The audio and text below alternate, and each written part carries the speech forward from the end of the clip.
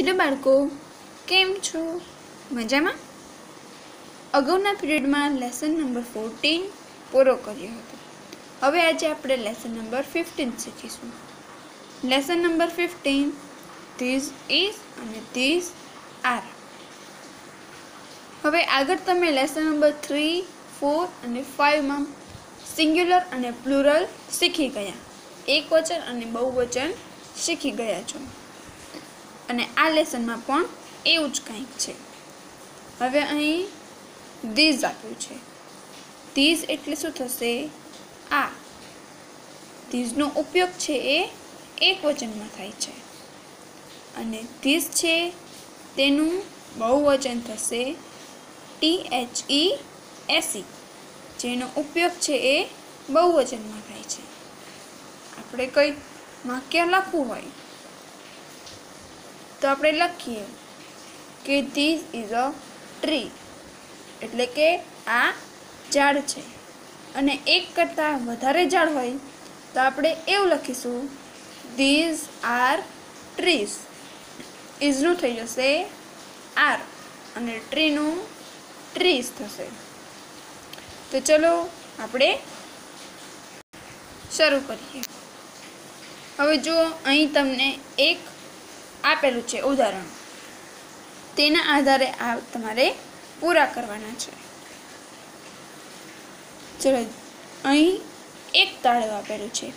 તાળું એટલે લોક તો અહીં લખ્યું છે ધીસ ઇઝ અ લોક આ તાળું છે. અહીં એક કરતાં વધારે આપ્યા છે. તો અહીં ધીઝનું બહુવચન થશે T H E S E this ઇઝનું બહુવચન. આર અને લોકનું થશે લક્ષ. આગળથી એ નીકળી જશે અને પાછળ એસ લાગશે. એટલે કે આ તાળાઓ છે. તેના પછીનું ચિત્ર જુઓ. શેનું છે? ફુગ્ગાનું. ફુગ્ગો એટલે બલૂન.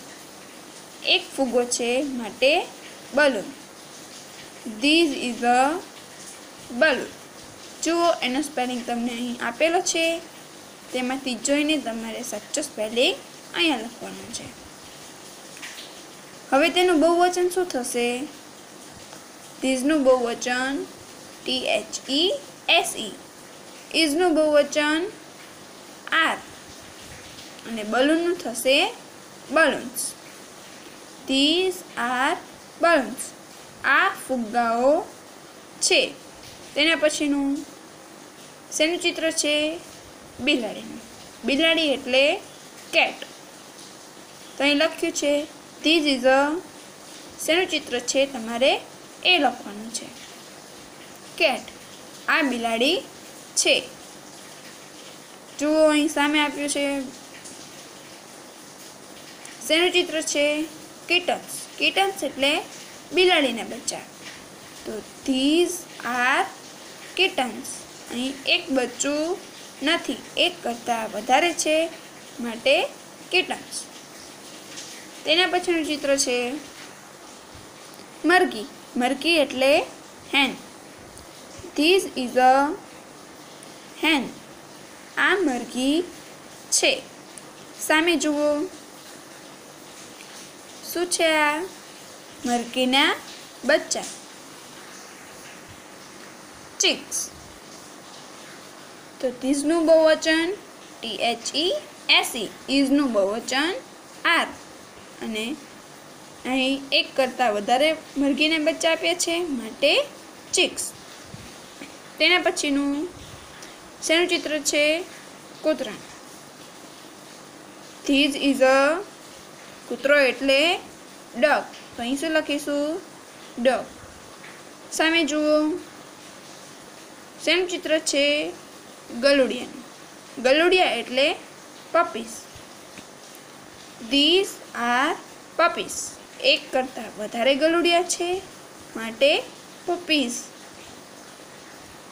ચલો આટલું થઈ ગયું હવે અહીં તમને નીચે વર્ડ્સ આપેલા છે સે એન્ડ રાઇટ ધીસ વર્ડ્સ એટલે કે બોલવાના છે અને સાથે સાથે તમારે લખવાના છે. M Y my T R Y try C R Y cry D R Y dry S K Y એટલે કે sky W H Y E A R year H E A R hear N E A R near D E A R dear F E A R fear C L E A R એટલે clear તમારે આ જ રીતે બોલીને લખવાનું છે.